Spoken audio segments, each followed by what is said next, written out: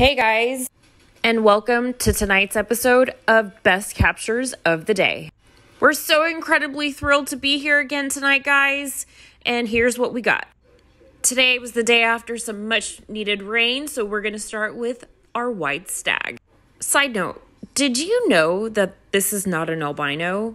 This is actually a genetic mutation called leucism. Another fun fact is that the zebra and the white stag are each other's full blown nemesis.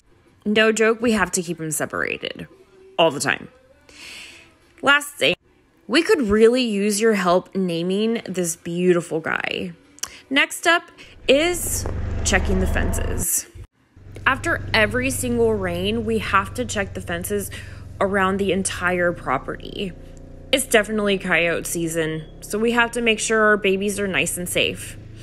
The next one up is our amazing feeding crews. Usually that's me, but we do have help because, like I've said in my previous videos, I live about 40 minutes away, which makes it extremely difficult to be out there every day until my house is built. But we have help, and thank God for them. Next up is our native whitetail buck.